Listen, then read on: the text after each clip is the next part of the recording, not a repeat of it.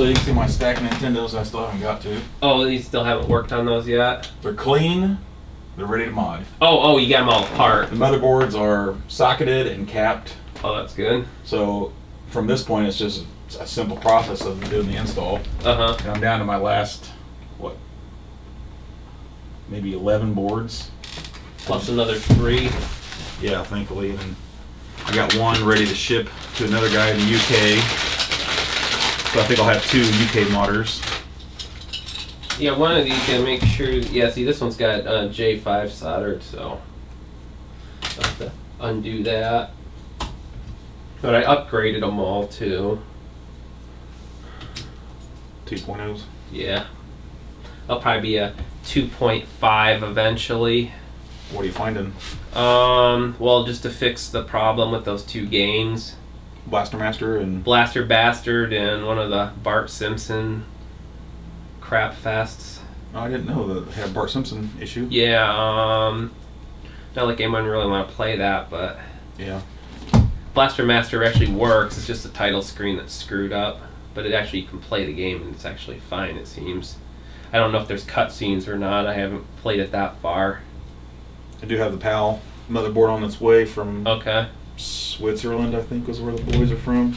Then you said it, it worked on NTSC and with NTSC chips, and they put PAL chips in, and it didn't. Is that what he said? No, I think it's a complete PAL console.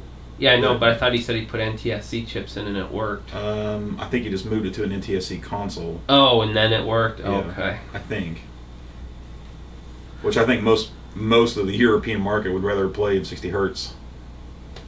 Well, I mean, if you're gonna have HDMI, you might as well. I mean, especially if you're gonna get a PowerPak or Never Drive. Mm-hmm. So that was one of the things I was going to talk about in the Hi-Def NES update video was why it hasn't come out yet. Well, it kind of did and it didn't. right. Well, their first four, four, first hundred were what we said they were going to be for us to install and figure out if there's any problems, Uh huh. and we found some. Yeah. And that's what you've been doing. I mean, you spent how many months on Rev two Yeah. firmware? Yeah, I spent That a lot of forever. time on that because that really sucked. and probably what last two, maybe three months on some hardware problems. Yeah, I've been doing other things too. You know, I don't just do Right. high def NES all day every day. and I got sick for like a couple weeks. Yeah, we were supposed to do this video a month ago, Yeah. and it just didn't happen. Um, my last high def NES up- update video was December, mid December, December sixteenth, and yours was like October twenty third. Yeah. So I'm sure everybody's chomping at the bit. I mean, hell, my my last video got it's almost at sixty five hundred views. I mean, people were just dying for any more information they Uh-huh. could get from us. so Well, thought, unfortunately, there really isn't a lot more information to give. I mean, it's gonna go. I had to fix the composite video. That's just been the biggest pain in the ass ever.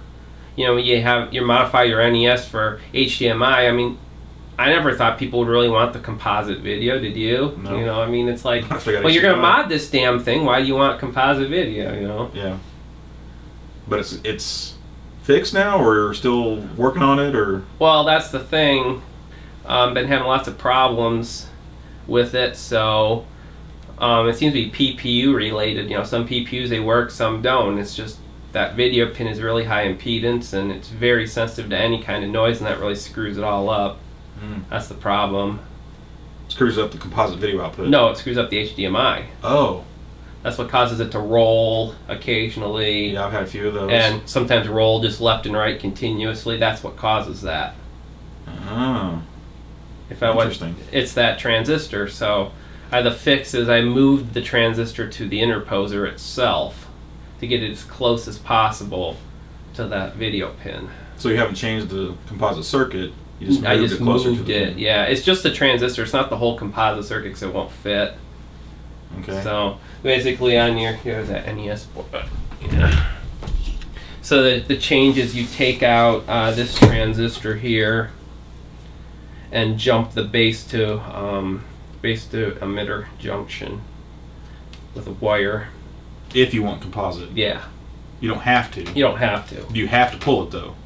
Um, the transistor? Yeah. No, but it won't work very well if you don't. Okay. The composite won't. But the HDMI will be fine. Yes. Okay. That's fine. So on these, you would probably have to pull it because it has a modulator. You know, someone tries to use that modulator, it's not going to work. Right. I'm not sure I'm concerned about that. Just as long as the HDMI is fine. But if there is a way to fix it, great. Yeah, but that's been the biggest bugaboo has been that composite transistor. Believe it or not, that's what's been causing all this trouble. Hmm. One stupid little transistor And for the course- composite video. The analog NT probably doesn't have the same circuit. Yes, it does, it it has the exact same, same? has a problem. That's why I had to fix Oh. that. So Well, originally I was concerned that a lot of the problems that I've been having that NT wasn't having was Uh-huh. because all the ones that I do, I actually use the high def NES to power the whole console, Uh-huh. they don't. yeah, that doesn't seem to be the issue. I thought it may have been, but it doesn't appear to be. But now we know, Uh-huh. at least. Yeah, I have not seen that power supply fail once yet. On on the couple I got back, this power supply actually was fine. Okay. So two of them, the 3.3 regulator wasn't working right. It's outputting less, and I don't know why. So I was going to try and pull that little chip and replace it on two of them. And then one of them has an HDMI problem itself. I think the connector pins may be shorted or something, Mm. or open. And but yeah, I haven't really had any major power problems other than those two with the 3.3 was a little low. Well, and I was just going with that theory because Uh-huh. that was the only difference. Yeah, yeah. And analog NT had like zero problems, and I had what maybe ten, maybe ten it- main boards, No, he only gave me back about seven. seven. Yeah, But it was still. Cons- I mean, and there was just as many interposers too, but yeah, it was concerning because I thought, well, you know, what's different? And that the was thing the, major, is, all those thing. all those boards worked fine when I gave them to you. You know, when I programmed them. So I don't know what happened. Which that's another thing that you've uh, upgraded as far as assembly. Is you also wrote some new code. Yeah, I have a test thing. So when at the factory when they make the boards, they can actually test the boards there and fully debug them. Which you had them testing just. Uh, Well, they couldn't test anything before because they it- the test code was broke. oh, that's right. The test code was for the prototype version, and some of the pins moved. And then the test code wouldn't run on these boards. Okay. That was the problem. So for the test code, you put a, uh, a ribbon cable between the two connectors, and then hook the hook 9 or 12 volts up here, and plug it in HDMI, and it will totally uh, test everything. which is not only pins of the uh, Connector FPGA, pins, FPGA pins, HDMI, and then the audio. So basically everything. which also would test power. Well, yeah, because you're Yeah. powering it. Yeah. So yeah, it tests everything. So then I'll know. I then I know I'll get known good boards out of them. That's excellent. So yeah, that'll make life a lot easier. How close are we now? well, I pretty much just have to send it off. But uh, the only thing I've been wor- working, um, worrying about's been that stupid composite circuit. Uh, everything else, I'm really not very worried about. Are you wanting to do another short run of prototypes? No, I don't it, think I need Pretty to. sure. Pretty sure. In the worst possible case, I have to get new interposers made, but I don't think that'll be happening. I didn't really change much, so You didn't change anything on the. I didn't change boards? anything on the. Yeah, I did. I um, I re, I moved. Oh right, just the physical stuff. removed this hole, Yeah. and I got rid of um this little half hole, and then I got rid of this, but I'm gonna put this back in. I've seen people use that actually. Yeah, you know why I need that? No. I didn't think about it when I oh, programmed. Oh, your test jig. Yeah. It's like, well, shit, how am I going to program the damn thing if I can't fit it in the jig, right? so, yeah, I got to put that back on. Oh, and of course the HDMI connector is moved out. Right? Yeah, this move, the connector moved out very slightly. I moved it about a millimeter, basically as far as I could move it without making a protrusion on the board. Okay. But I measured and it should be plenty. It should be exactly flush just about with the plastic back here. With the now. inside of it. Yeah, it should be. It should stick out, you know, like about like that now. Okay. That should be plenty. Yeah, I mean it's gonna be one millimeter, and I mean that's a lot of space on that connector. So So you wonder if I've got a bottom half somewhere around here that meet that matches that one. I'm not even sure anymore. Been a long time since I messed with the top loaders, or you know. I thought all those front loaders um, were modded already. No. and then I saw the big pile of circuit boards. No, that's why you haven't got paid yet. What about all of those up there? these? Yeah. Top loaders? I haven't done anything with those. Oh, did you just get those in? No. Well, how long I've you just been stashing them, Oh, okay. but I'm not putting these in them because they don't fit. yeah, yeah. And people were complaining Oh, I about see. that. Yeah. Mm -hmm. So yeah, all those and all the ones that are in there. Oh, yeah. I see those. There's a couple up there. I counted. Uh, there's something like 55 or 60 of them. top loaders. hmm That's a lot of top I've got loaders. two PAL top loaders, Okay. which Shit, you should have let me know that you had PAL top loaders. I would have tested on them. I thought I did back in the day, but I don't remember. I think the PAL chips that I got you are out of one of them. Oh, are they? Yeah. Because one of them, one side of those PAL chips works, and there was like one bad one. Remember, it had an X on it. A PAL chip? Yeah. Ugh, I don't know where I would have got that from. Wasn't a UMC chip, was it? No. Those But- work. Yeah, I think there was four PAL chips on that foam you gave me, and two of them work. Three of the chips work, and one doesn't. I think. Speaking of the UMC chips, Yeah. I actually found you find those like some a, 6528s and some 6527Ps. And the P don't work as a CPU. And At the, all? And the PPU, yeah, but not through uh, regular composite. It Yeah. works fine with Hi-Def NES board. Oh, it does. Yeah. But you put on regular composite, no good. And then I had a a Famicom clone. I mean, Uh-huh. it looks like an original red and white one. And this was the CPU in it. It just says 2011 on it. yeah, that's that thing works perfect. What is this? A CPU? Yeah. Yeah, that's obviously a clone. Right. but I don't. I think they had other UMC chips on there, and that was just um, you could buy that pair. Mm-hmm. So I bought that pair, and I didn't know one of them was a P. Where did you get it? eBay. No, it was. Uh, it, it was either AliExpress or. Oh, okay. Alibaba. Pretty sure it was AliExpress because I still get emails from them, of course. hmm. 2011. That's funny. I wonder who made that. UMC didn't make it. I don't think. And sometimes you can tell who made a chip by if you look at the package, but the dot's different. This is Mhm. a little rounded one. This one's kind of flat. Yeah, that's still a a video you need to make. Ejector pins are different.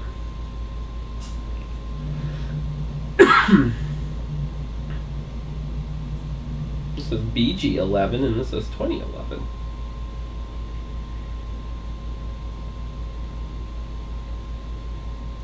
I went back and tried to find more UMC chips, and I Didn't have any luck.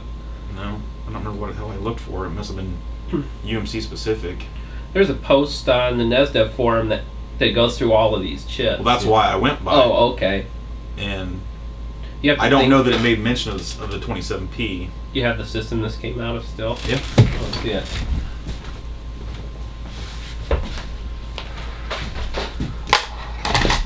Put these under the camera so people can. Yeah, the whole system was already socketed. Well, and the other chip is a UA6528.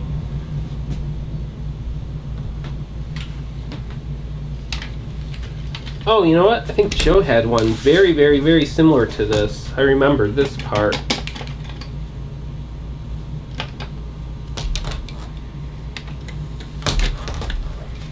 That is funny.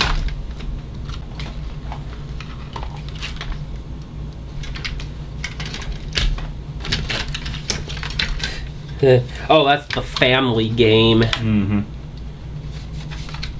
know, So label. computer. Yeah, the label's not even on there straight. Or it moved. It's like a clear thing that's square, and this is like not that's underneath that. Isn't that weird? Same over there. It's part of the mold, even. Oh, that. Oh, you're right. It's part of the mold, and then they just um, didn't put the stickers on straight. ah, fuck it. We don't need straight stickers. We're making family games. It's Chinese clothes. Clone, screw it.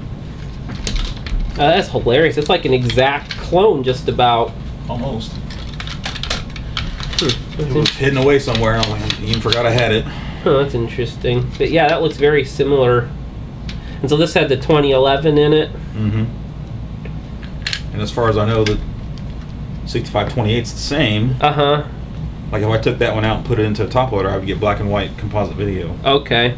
So this is um, not PAL, but it's Like maybe Brazil PAL. yeah whatever that is. NTSC M or whatever that Or is. PAL M. Isn't it PAL M? PAL M. Yeah, I think you're right. I don't know. Right. Whatever fucked up video mode that like is. 50 hertz NTSC or something. Yeah. Mm-hmm. No, it's uh, 60 hertz PAL. I thought Yeah, yeah. with the PAL burst clock. Okay, let's. Hmm, this one, this package doesn't really line up either.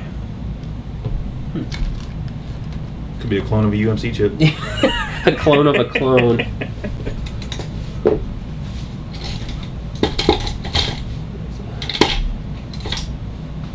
Where's a flat blade at? What do you need? I want to pop this out and look at the bottom. Ah. Oh, use the use the tool for it, right? I use it on occasion.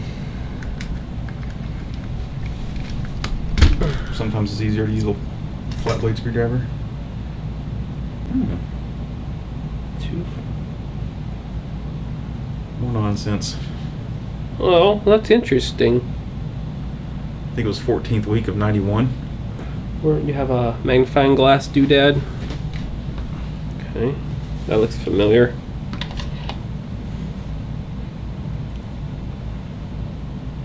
Well, why this?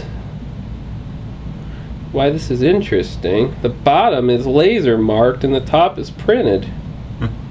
What the hell? Why would they do that? Huh.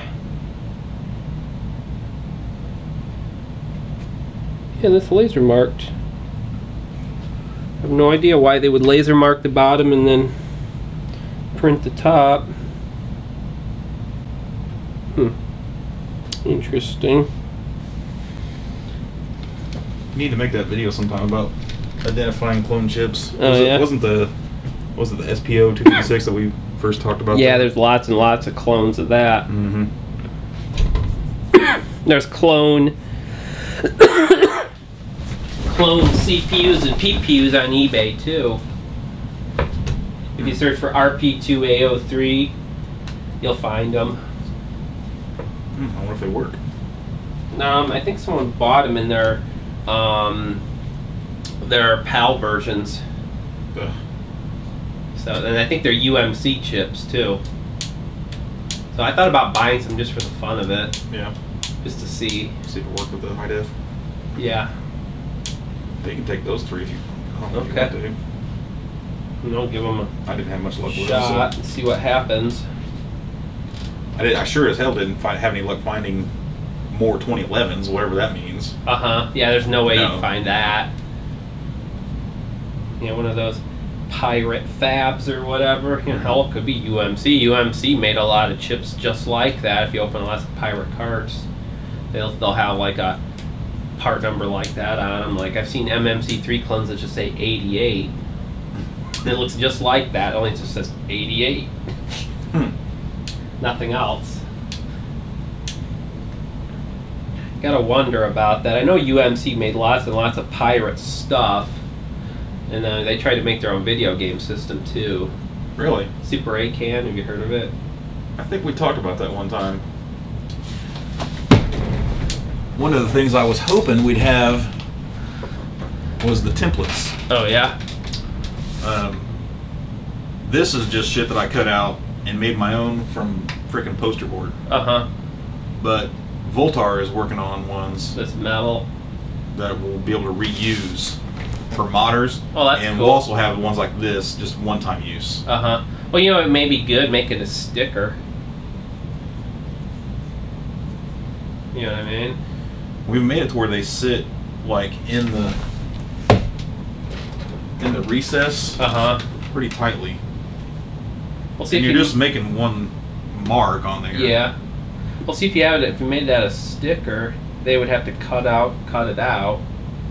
Then you stick it on, and then you can drill or cut or whatever you have to do. Well, that's another thing that somebody else is working on is new stickers right here. Oh yeah. Oh, that's funny. because to that hole cuts right into it. hmm And then somebody else says, and you know, in all of my videos, I've made a little notch right there where the hole is. I Uh-huh. put the sticker back on there, and they're like, "Why don't you just cut it all the way across?" I'm like, I don't know. And I did it like the last few times I've done. it, I just cut it all the way across instead of trying to make a notch on the fucking sticker. Because you, you got enough, you got just enough between the hole and the top of that recess right there. If you cut it just below the lettering, Oh, I see what you're saying. Oh, I see. Uh-huh. so there's no notch. It's just a cut. Oh, straight that makes across. sense. Yeah. I'm like, duh. Plus, these things will basically come apart. Like you can rub that surface print off Uh-huh. of that really easy. Oh, uh-huh. cleaning it. Yeah, yeah. I've ruined uh-huh. a bunch of these just from taking my scratch pad across of it. So if somebody comes up with those two, I would definitely offer Yeah, that's those. pretty cool. Somebody was uh, also trying to come up with a logo for us just for the Hi-Def NES. Oh, yeah? I'm like, that's a great idea. Yeah. And I thought, well, why just one person? Hell, let everybody send us a, a possible logo for it. Come up with a winner and give them a free kit. Fuck it. I wonder if you you, you you take these out, right?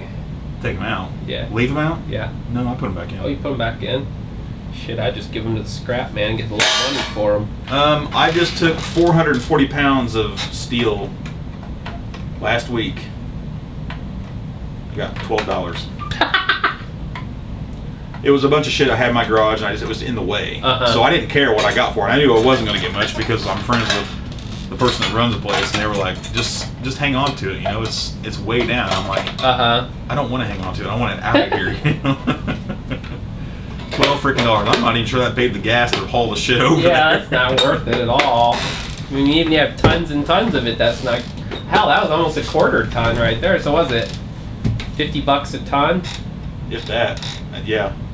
I don't think I don't think the other metals are as down. Uh-huh. I mean, they're down a little bit, but not like not like steel and iron is. Yeah. It's That was probably a little over fifty bucks if you got that much, because you know, you said four hundred and how many? 440 pounds. Or Forty, yeah. Probably fifty-three or fifty-four a ton. So this is all of our referral modders, the people that I handpicked. Uh huh. Uh, we got Voltar in Kentucky. Okay. Uh, we got Leon K in Canada. Um, consoles for you in Switzerland. I think these are the guys that are sending us the the PAL Okay. motherboard. Um, Mr. Norton in Germany. I can't remember if he had an actual um, store name or anything. Dave Cornish in uh, Swindon, UK.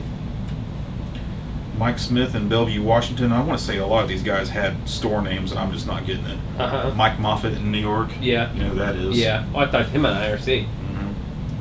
Uh, Kevin Smith in Emerado, North Dakota, which is like straight north of Fargo. Uh, Mr. Capella in Poland. Can't pronounce his first name. And Kevin Mitchell in Portland, Oregon area. Can't say that town. And then there's a number 11, another one, another guy in the UK and a guy, uh, well, a store from Japan contacted me, wanted to do a wholesale resale of the kit, and I said we're not looking for that yet. Yeah. I said, but if you know of a modder, let us know. Uh huh. And he was like, well, can we sell modded consoles? I mean, you sell all we want. You know, you can buy kits, have him mod them, and sell them in your store all you want. That, That's Uh-huh. kind of the point. So hopefully, they'll find a Japanese modder for me. I had another guy contact me who thought he might want to be one, but turns out he just couldn't handle the volume and Uh-huh. didn't have like, you know, I'm looking for somebody. That, I wish I would have said this in the, in the very first video I talked about call from otters, but I want people that can do five or more consoles a week Uh huh. and I want people that have you you know an online presence. I want a YouTube channel, and I want you know um, for them to post on forums or have their own website. Yeah. You know to help spread the word or whatever. Yeah. Otherwise, no one's gonna know about it. Right. And then I was you know I was like, well, how many NESRGB installs have you done? Because that's exactly what this is. is Uh-huh. Desoldering CPU and PPU is the big part. If you don't have the right tool, you know, or tools for for desoldering, I don't really want to refer people to you. Mhm. You can do them. I'm not trying to stop anybody from doing them. I'm just this is the people I'm going to put on my website. Say, if you're looking for somebody close to you, th- these are people I'm pretty sure can treat you right. Uh huh. So, and I didn't say none of that in the other video. So I've got a lot of people emailing me saying, "Hey, I want to be a modder." I'm like, "Well, tell me why," you know. Uh-huh. And then I'd say about half of them weren't didn't want Serious, couldn't so couldn't speak. handle the qual- quantity or just whatever reason, you know. But still ended up with you know 11 guys so far. But Well, I think that's probably good enough for now. oh, I mean, we're gonna have 200 kits first round. Yeah. And I've already been telling everybody one kit per person. And I've even told the modders that, and they're like, why? You know, because, well, we only got 200, and I want to be fair. You know, I want to tell everybody way in advance when they're going on sale. You know, and I have it to where can only buy one at a time, just so more people can get it. You know, I don't want, I Mhm. want one person buying 50 kits and, you know, doing Sitting what I'm doing. them, yeah. Uh-huh. Yeah, modding consoles and selling them for exorbitant amount of money. uh, Leon, I think it was yeah. Leon K just sold his, and he let it go for bids, and it went to 450.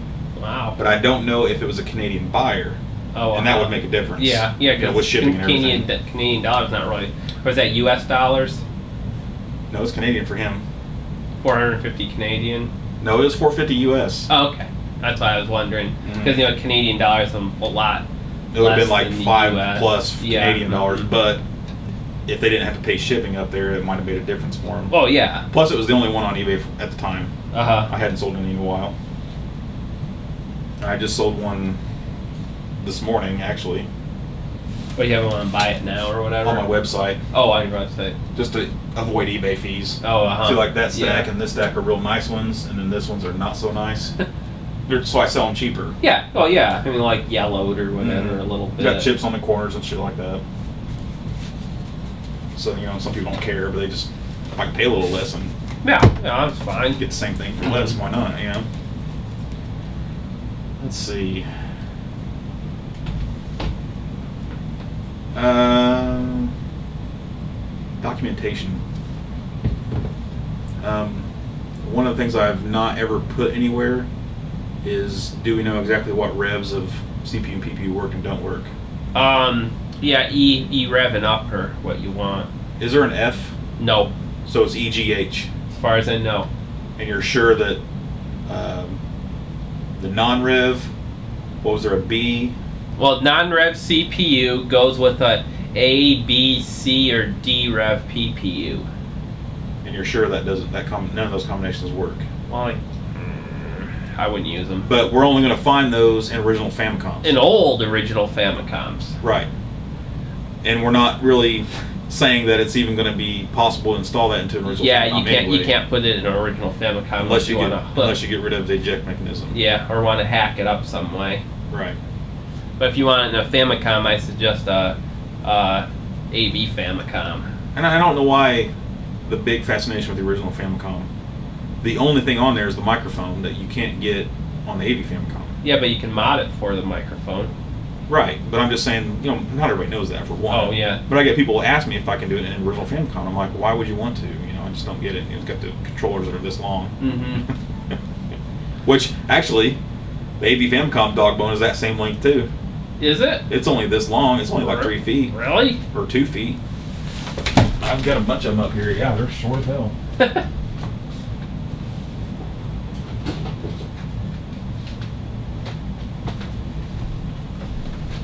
so they're just like a, a US style dog bone, but they just shorten the cord. There's a you got Famicom. Oh, the Famicom Lettering on the back. Uh huh. But it's the it's but it's the It's exactly the same a- otherwise. Yeah. Other than a shorter cord.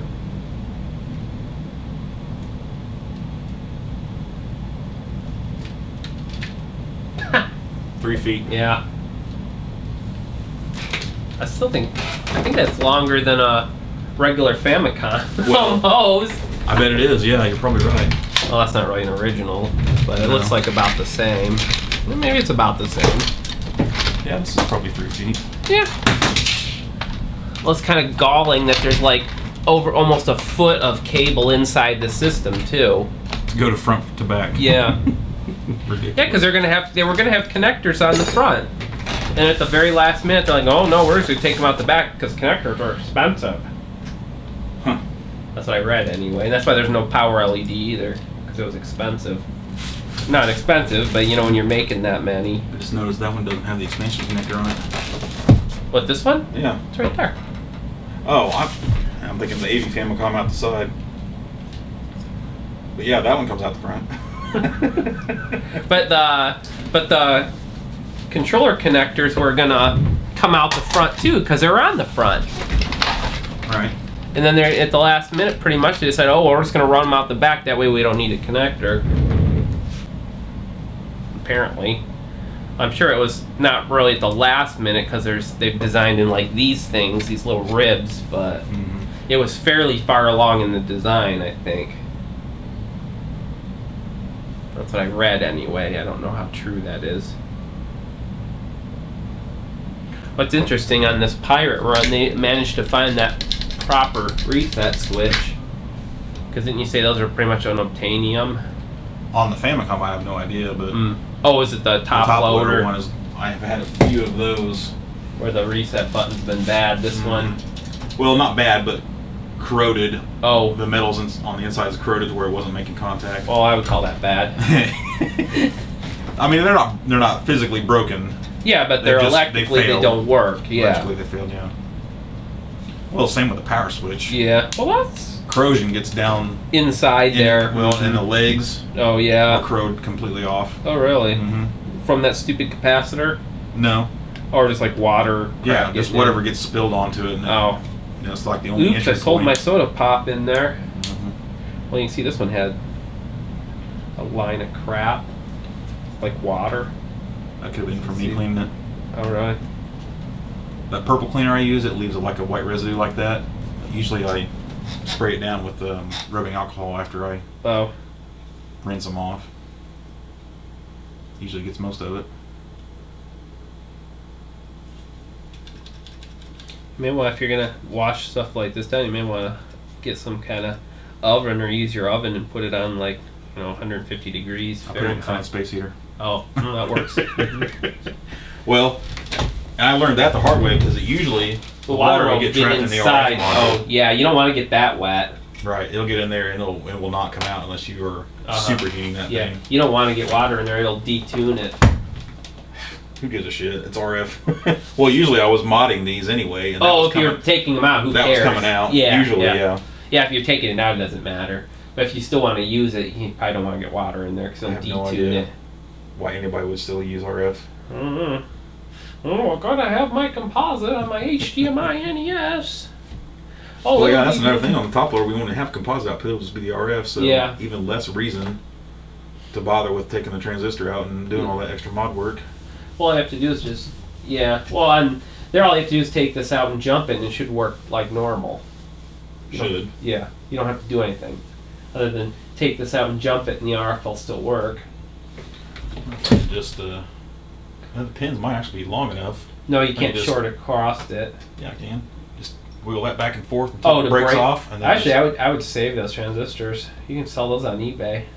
People want that exact transistor no to do mods for some reason. I'm sure. Well, I'm sure they're using those as a composite mod. They are, but they want that transistor. Well, I've heard that argument before. They're like, oh, well, Nintendo must have used the best ones and done the best circuit, and then immediately after that, somebody actually knows what they're talking about says, "Are you stupid?" I would probably save them myself if I was doing it. oh, I, I would have a thousand of those if I was saving all of them, but Hmm. I had no reason to. I think the Q2 is the exact same one too. That's the oscillator. no, it's not. No, it's a NPN. That's a PNP. That's a A, and this is what a C. Yep.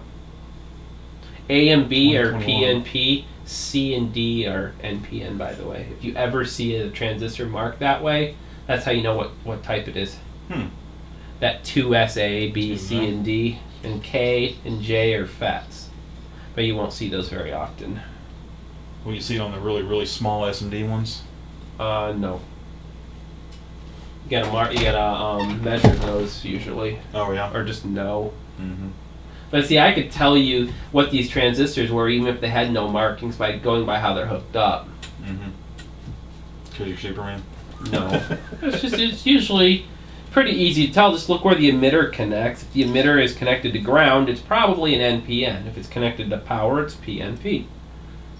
That's how you tell. And if it's in common uh, emitter mode, then the collector is connected to power, it's an NPN. If it's connected to ground, like on here, it's a PNP. That's how you tell. That's it. Not that hard. Maybe not for somebody that's uh, been doing it forever and knows all stuff. Stuff is still beyond me. Me, it's not that hard. I'd be designing more stuff, poking on things and see how they work.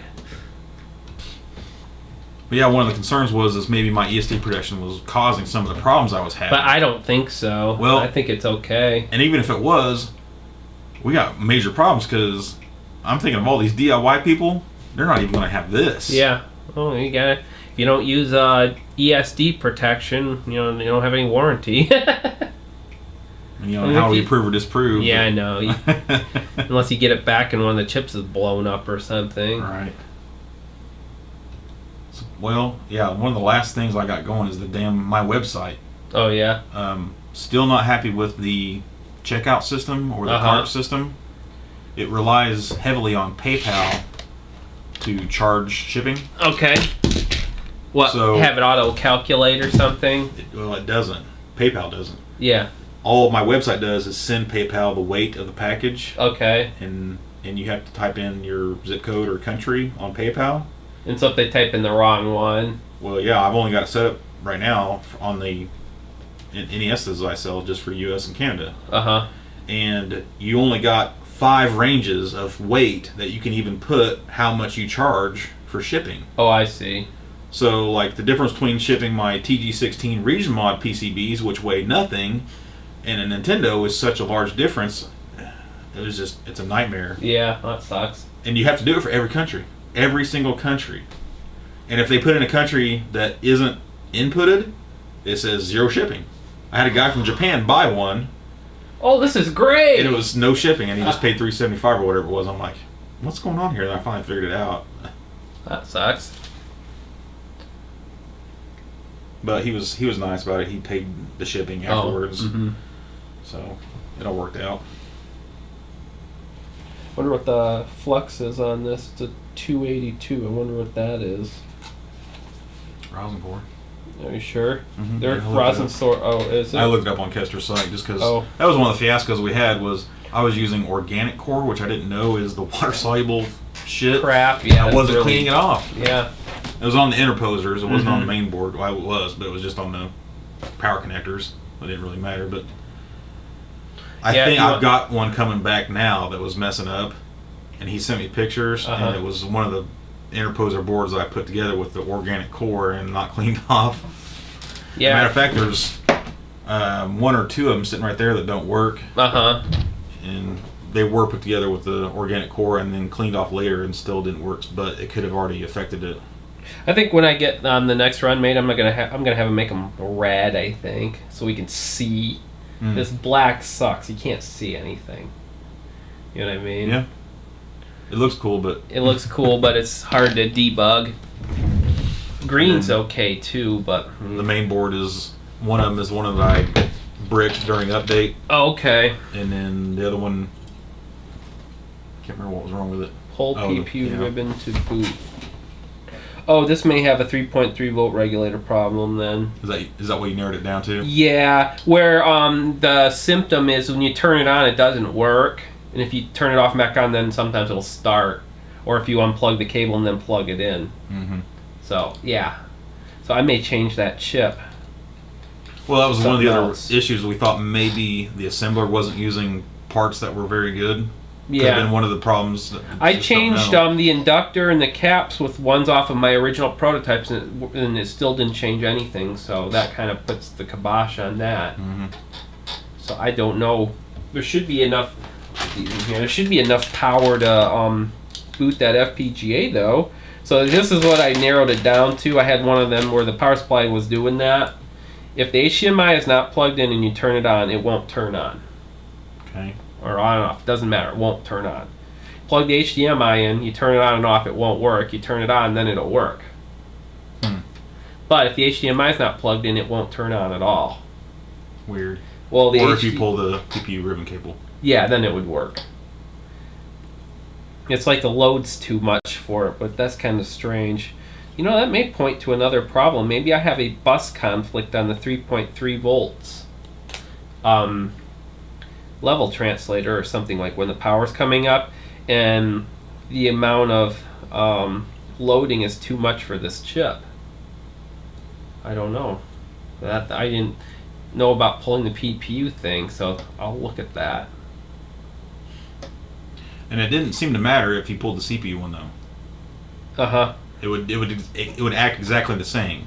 Yeah, And that's that's the one I also tried swapping them, uh huh. and it went with the PPU ribbon cable. Okay. Yeah, well, I think that may be a that may be a um, bus conflict on startup. Hmm. A resistor will fix it. So Would it hurt to add it anyway? no. So Actually, I think it's on. Is it on there? I'll look. No, it's not on there. Um, I'll figure that out. yeah, this is what we've been dealing with, so that's why it's been delayed. Yeah, it's not very easy making a product like this. You know, it's so complicated. And all by yourself too. Yeah, I mean, imagine how many hobbyist projects that are sold for the NES are this complicated. I don't think there's any. Uh, PowerPak, maybe. yeah. That could be the most comparable one, yeah. Yeah, but the PowerPak doesn't have you know 150 megahertz clocks on it, like this does. You know, this is all high-speed logic and multi-voltage I/Os and stuff. I mean, it's pretty complicated. I mean, Well, it doesn't even- look like much. Even Buddy Boy's AVS doesn't have full 1080p, so no, it's only 720. that reduces a little bit, right? That's half the clock right there. Mhm. You can put those interposers in there too. Yeah. I had a weird problem with it. Not wanting to pull up the menu. Uh-huh. Um, Well, that means that um, one of the address lines probably isn't working, so DPCM probably would sound all broken too. hmm, I don't know if I took it that far. I had one doing that, and I changed out the CPU interposer, thinking that would be Uh-huh. where it would be located. It didn't do anything. it uses both to get those signals. Well, and then I changed out the main board, and it worked. And then Okay. I reused both of those on a different console, And it and was was fine. fine. Maybe you had a pin that wasn't, you know, making contact. Maybe there was an open on the board or something. Could be. Oh, you know, maybe that that may have bricked and was that one that um, bricked after an update? Mhm. Okay, No, that one happened a while back. two months ago Oh, or more. okay. Yeah. Yeah, I've never actually had that happen. I've never heard of anyone bricking one Well. I I mean, it's possible, but I'm not positive that it, it, like my oh man, connection was kind of crusty. Well, that that made that. All I did was bump them. I don't know if it was the HDMI. Oh, was it in the middle of updating? Mhm. Oh well, yeah, that's that's why. Yeah, you bricked it. Oh yeah. but I no, knew, I that, knew as soon as it happened. yeah, yes, that will break it. So yeah, it's I can fix that. That's not Yeah, I knew you could. Just just- reprogram it. I was just pissed because uh-huh. it was all the way together. That's what pissed me Oh, off. It was- okay. It was, completely together, and I just bumped the cord during the update, and it just went black screen. I'm like, oh my god! I, I, just, I knew what it was immediately. Unfortunately, there's no way to prevent bricking unless you just don't update, which isn't an option, obviously. Well, I mean, hopefully at this point nobody's going to get anything less than a 2.0. So Yeah, at this point, yeah. Well, that's the other reason I only want to do 100. You know, we got that we had 1.0 out there, and you know we had to fix the firmware. You know, had some major problems for some people. So and, I got a lot of flack for why didn't you test every game? I'm like, what yeah, how do you test every game on this? I mean, how many games are there? And it's like, oh well, I got the Sachin game and it's not working right. I'm like, "Y- okay. you know, or it's like, oh, I got this pirate multi-cart. Well, there's no way to test every game. It's impossible. yeah. especially when new games or cartridges are being made all the time and all these homebrews are getting made too. There's no way to test every game. No, the thing, the problem, main problems you run into is a cartridge works on a clone system and it won't work on an original system. I've seen that. That's happened. Well, we've had ROMs that worked fine on the PowerPak, but not an original cart Yeah, like Blaster Master. yeah. It always worked fine, didn't it? I don't know. I never tested it. On the PowerPak? Yeah. I thought you said you once you had heard about it, you tested it. and it was fine. Maybe. I think I tested it and it was fine. I- I'll okay. I'll, I'll check it again. I thought it was broken on the PowerPak. I have an original cart of it now. I don't have it set up right now. Yeah, it's okay. I've been working on some other stuff, so I haven't really worked on this a whole lot lately. But I've been sick, so I just didn't do anything. you know, I wanted to make some more videos, and I haven't been able to do that. Well, I can now, but What's your next set of videos going to be? More. I've been doing more display things. But see, I'm working on a, a new FPGA synthesizer. That's gonna be my new project. Instead of video game stuff, I'm sick of video game stuff. I'll get back to it, but actually, this is good because this is going to test out everything I need for my Zimba 3000. Ah. This is going to test, you know, I'm working on a video processor right now to render graphics, kind of like it'll have, it'll be kind of like a Super Nintendo, only better. I'll have like the Mode 7 type things and scaling, rotation, tiling, sprite type activity, and all this. So I'm working on that right Well, now. was one of the things I was worried about. You going straight to the Zimba 3000, it's like, are you just going to have more problems like we had with this Uh huh. for every console? Nah, no. You don't think so? No, no. The problem, the main problem we've had with this is that fucking video pin. That's where 99% of the problems have come from, is that video pin. Because we have to get the sync pulses out of the PPU, and that's the only place to get them. Sure. And that's what's causing all the problems, all the rolling video type issues. It's that sync signal coming from that PPU. Hmm. So that's why the version 2.0 update, I did this major retooling of how all that works, you know, to make it better, to filter the noise sometimes that gets in there. So if I do have some older ones come back, all I have to do is change out the PPU interposer. No, you just have, what if it's not working Like right? if it's got rolling video. um, update to 2.0 and see if that If it already has that. Oh, then yeah, you'd have to change that. Or remove the video transistor. Or move it. Mm. Because I think part of the problem was noise getting in on that video pin just because it goes by all these like address and data lines.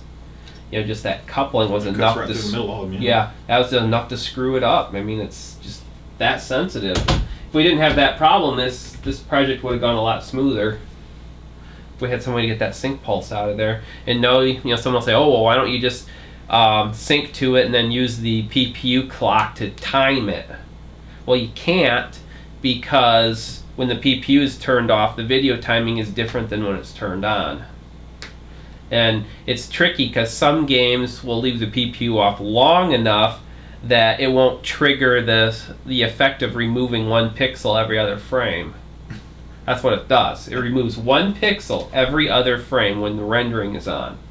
You're like, why? And it's so static screens look nicer because it changes the dot crawl.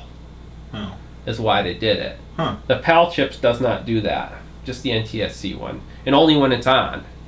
So Battletoads keeps the video off longer than normal, and so it does not remove that pixel every other frame because it's the video turns on after that occurs. Hmm. So if it did it all the time, or none of the time, it would be awesome. I would not have any of these problems at all. But since it does it some of the time, it's a huge fucking pain in the ass. And you don't think you're going to have any kind of problems like this on the other consoles? No. Well, no other console can you extract video like this. Well, and you're not trying to. You're No. just replicating the whole console Yes. on the Zimba. yes. Yeah, the Zimba It's not a problem because, uh, like you said, I'm replicating everything, so I have full control of everything.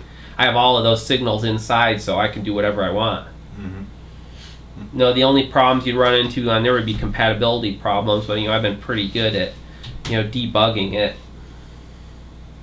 I know. what- I know. There's some already some people talking about it and excited Uh-huh. about it. Of course, I've been excited about it for over a year because Yeah. I've seen the other version. Yeah, you've seen the board, uh huh.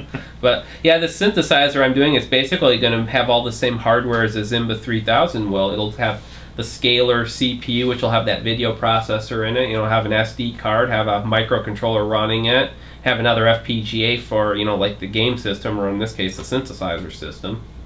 cool. So it's pretty much the same type of hardware.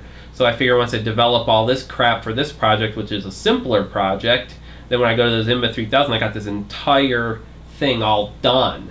You know, the whole infrastructure for loading things, running things, you know, doing video, all of that's done now. So that's the idea.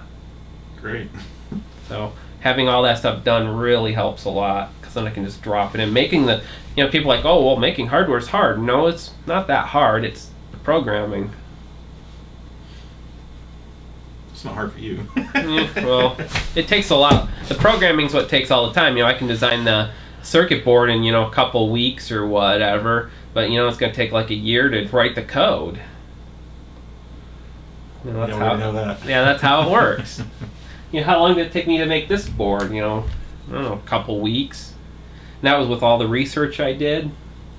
So, you know, the actual layout, you know, I did that video time lapse and it was like, you know, 12 hours to lay this out. And that was for version two, right? Yeah. hmm The, well, this version, 3.1. This is 3.1. Version two was the green one, wasn't it? Yeah. Wasn't it? Yeah, I the think. whites were the ones, and then Yeah, I think yes. some green ones. Yeah, and there's the green ones and then this one. So yeah, this version, you know, when I laid it out, it took you know like 12 hours to lay it out, and that was like total layout with no routes on the board. You know, that was 100% layout from nothing, well, the parts and board outline to finished product. So making a Zimba 3000 board, you know, take a couple weeks since it's a lot more complicated. That's like what ten times that thing. Yeah, I mean, it's not really that hard doing the hardware. I mean, you just lay it out and hook everything up. It's all that damn software. Yeah, if we wanted to make a Famicom version of this, we'd almost have to redesign that Famicom board. Yeah. Which is not out of the question, really. Yeah, but it's kind of a pain in the ass. Someone would have to pay me money. Yeah, well, Someone that would to, be like a Kickstarter thing because then you could you could justify it. It's like, well, if you come up with this kind of money, then we'll do it because we already know we have the customers and whatnot. Yeah, I just don't think it's there. I don't either. Like I said, if you want a Famicom, use a top-loading Famicom, you know, AV Famicom, and if you really have to have that fucking microphone, put a fucking 3.5 millimeter jack on there for the microphone. Yeah. I think I think uh, yeah, I think Voltar sent me a, a circuit on how to mod that back in there. I'm yeah, gonna try it it's sometime. not that hard. I mean, it's just you know the original. Have you ever taken one of those apart to look at the microphone circuit? It's hilariously terrible. it uses a 4069 hex inverter as an audio amplifier in there in the controller. Yeah. Actually, does this have the microphone? I'm guessing it doesn't. Nope, it doesn't. So the clone doesn't even have the microphone. They figured it was useless. Yeah, because uh, player 2 has a bigger connector on it. Normally. Has one No, more. it doesn't. Uh, you know, it's funny. The footprint is there for the 6 pin connector. Sure is. Yeah, yep, sure enough. That's funny.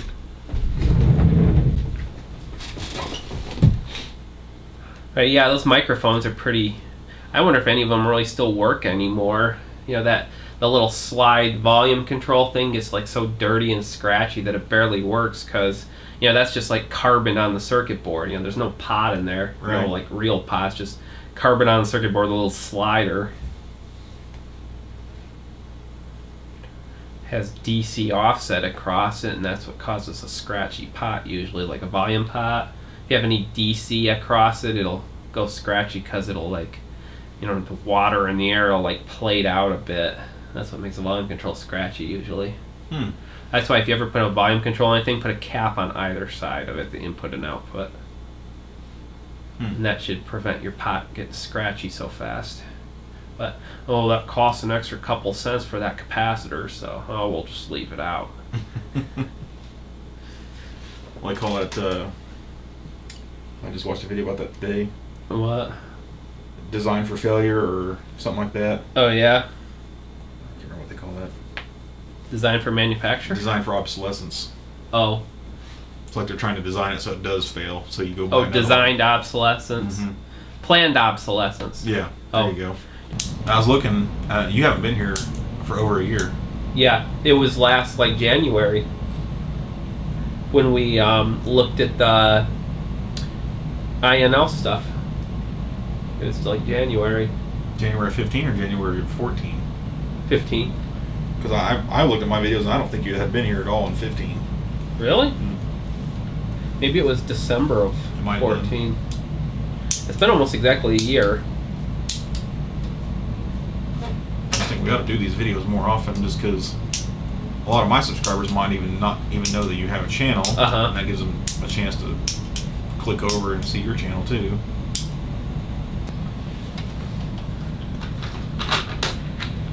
PCB drills or um, router like- router bits. They're more like router bits. Yep.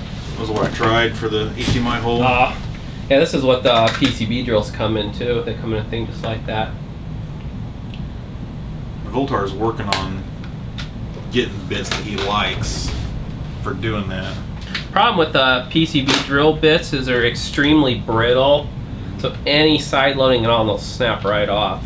That's the problem I had was trying to keep them straight. Try to use a Dremel, don't even bother. They just break. Well, I, was, I had to put my Dremel on the lowest RPM. Oh, Otherwise, uh, it was just melting plastic. Oh. It wasn't even cutting it; it was just melting through it. Well, these are probably for FR4 or similar. These are these are designed really for a side load since it's a routing bit. He was. He's. I mean. He's close. I think. I don't know that he's actually got the bit picked out, but Oh, he does yeah. have the templates done. And he just. I think he just sent them to me today because I reminded him. He's like, "Man, I knew I forgot something because I wanted him to be here for you to look at." Oh, huh. I had, uh, of course, the last video I did about the front loader caps. Uh huh. Come to find out, Console Five. You ever heard of that guy? No. He sells cap kits. Okay. He might sell some mods. So I think I, I think I should contact him about selling that composite mod. Mm-hmm. Maybe he did buy some. I don't remember. But anyway, he does have a page of the diagram of that RF module and what cap goes where. Okay. I missed a couple. Oh yeah. Yeah, there was one that was way, Off to the side. way, way uh, diagonal from the main cap. Mm. They're still accessible by bending up That the, shield. the top part that's actually between the motherboard and the RF module. I don't know But how. it's out in, it's out into the RF circuitry. Uh huh. so I'm not sure how much you really need to replace those caps anyway. To be no, honest. no, I I agree. It's the main one and Uh-huh. the two 100s Oh really? because I've seen all three of those. go. Oh yeah. Well, there was a picture of it in the, in the video. Oh okay. Oh yeah, I think I did see But- that. Usually, two of those caps are within reach, or they have to be removed anyway to get to the 100. Uh huh. So might as well. Just do them all. Yeah. But uh, maybe you can shed some light. I had a lot of people say, "Well, you need to replace a one with a one instead of a one with a 10." Well, it depends on what it is. That's exactly what I said, and I said, "It's the it's the audio circuit coming from the from the main if board it's an audio coupling cap. to these two caps." Uh huh. Oh, the 10 would probably be fine there. yeah, because I'm thinking it's just probably just It's audio. It's a it's a audio coupling capacitor. So if anything, that the bigger cap will give you more bass. yeah. The well, If if it's part of the filter circuitry, no, no bigger caps give you more bass anyway. Cause I think so. well, yeah, because it's passing AC, right? Well, and and the the thing that my argument was is well, I've had the same modules have different size Mhm. caps. Well, yeah, because they're made by Mitsumi and Alps. Alps. Yeah. So I don't know how many revs that went through. Probably quite a few, We've found like three or four or five, I think. I saw the pictures. I want to say at least four, because I think console five has three, Uh huh. and I had one that was not in there. No, he has four, and I have five, Okay. something like that. But yeah, the RF circuitry cap. I was just like, it's far enough away from all the heat. It really shouldn't matter. But see, I'm planning on selling a cap kit to people Mhm. who want to Yeah. recap Yeah. it. Uh huh. And I thought, well, you know, sometime you have to pull one of those one or tens out of the way anyway to get to the hundred. So might as well put in a couple tens in there. And I bought like thousands of Nichicons from Mouser just for that purpose. Uh huh. Well, that's good that you got them from Mouser and not oh yeah, I wasn't. Yeah, Wasn't at, at work, uh, we only buy caps from DigiKey or Mouser. We have to. I mean, otherwise you get screwed. You know, Mhm. you get the shitty caps. You know, we've had it happen on our products at work where we get shitty caps and they leak or go open circuit. Like on this one control we have, the caps go like open circuit. They dry out or whatever because they're not the right cap, and then the power supply explodes. Because they're knockoffs. Yeah, Hmm. that sucked. So every time we get one of those back for repair, we we replace those caps no matter what, even if they look good. But you put it on that meter and they're crap. You know, they're like lost half their capacitance. Hmm. They don't bulge or anything. They just like go open circuit. You know, it's kind of a fad where you just replace all the caps no matter what. and I'm just like, why? Well, like the NES motherboard, it's Uh-huh. got Rubycons on it. Those, Well, mother- those motherfuckers are are never bad. Yeah. You see right here? Mm -hmm. Well, they're little. Those little caps usually don't go and bad. And I was like, why? Why bother? You know? I mean, they usually don't go bad. They're too small. It's usually the big filter caps that go bad because they handle all that ripple current. Not to mention they're enclosed and Yeah. heated. Yeah, that's not. That's, like that's like the worst design ever, right there. Yeah.